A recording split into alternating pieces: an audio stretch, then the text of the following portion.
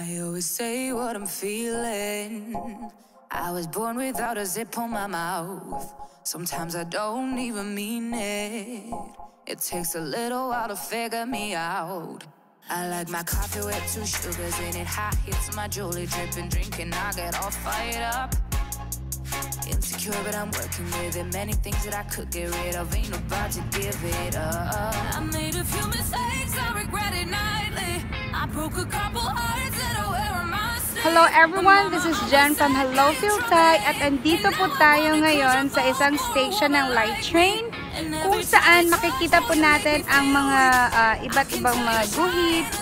Simple lang po siya pero pwede po tayong maglakad-lakad dito, i-enjoy yung view. Tapos, uh, ang pinaka-importante po sa lahat kasi pwede po nating dalhin yung mga anak natin. Okay? And kapag nagutom po kayo, sa tapat nito ay ang Carrefour. Andyan lang po yung Carrefour natin. So, napaka-convenient po na lugar. And, marami po tayong makikita ng mga maliliit na mga halaman.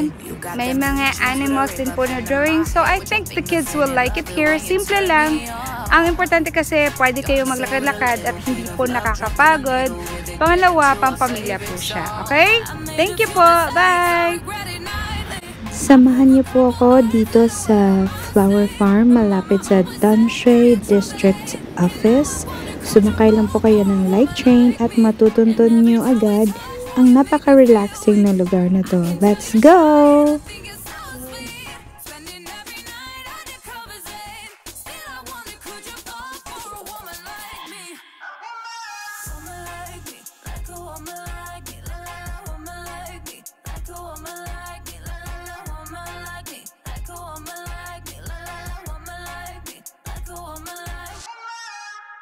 I always say what I'm feeling. I was born without a zip on my mouth. Sometimes I don't even mean it. It takes a little while to figure me out. I like my coffee with two sugars in it. Hot hits my jewelry dripping, drinking. I get all fired up. Insecure, but I'm working with it. Many things that I could get rid of. Ain't about to give it up. I made a few mistakes, I regret it nightly. I broke a couple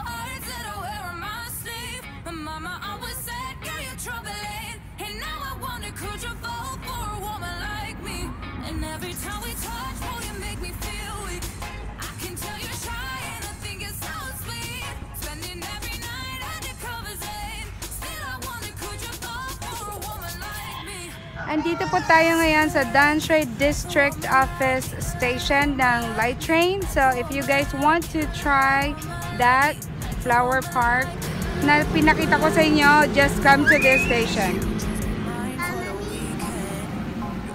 Pinapakita ko po ngayon ang dalawang bus stops and take note po kayo sa mga bus numbers.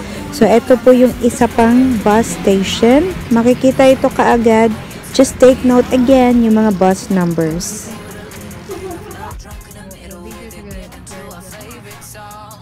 Made a few mistakes, I regret it now.